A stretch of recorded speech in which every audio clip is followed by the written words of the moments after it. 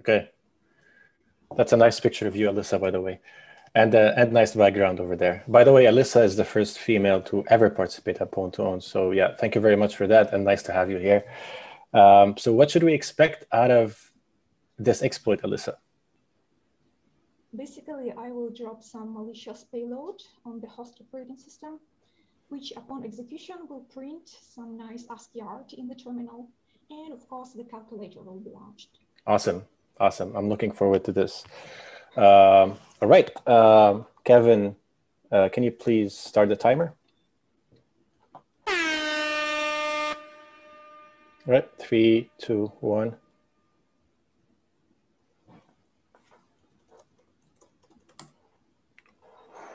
Oof, let's see. We're not able to show the screen as this goes.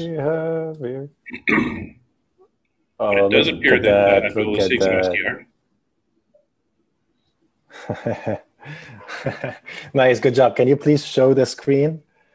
It's a very nice ASCII art over here. Oops. Oh, look at that. Alrighty. Up. Uh, can you stop? Show me the money. Okay, that's it. Thank you very much. Great. That's a successful uh, demonstration. Congratulations.